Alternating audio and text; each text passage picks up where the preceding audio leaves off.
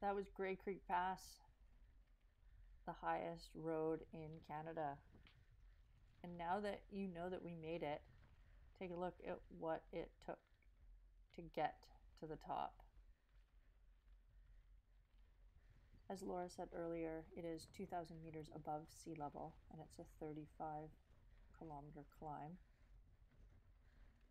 The QOM segment on Strava is 10.57 kilometers long. We actually set the QOM as a team at an hour and 10 minutes.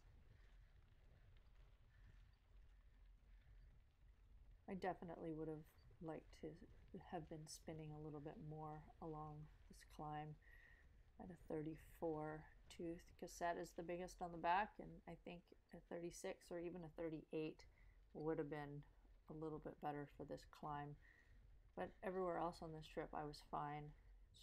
Just a bailout gear nice and spinny.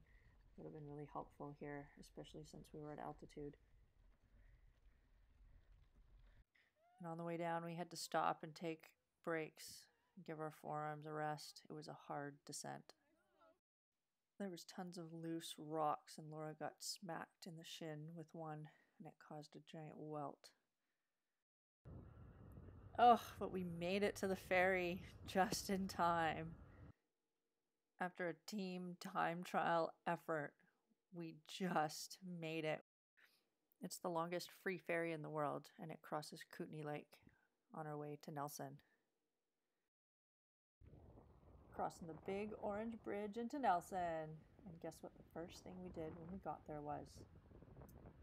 Dairy Queen! And a lot of strange looks.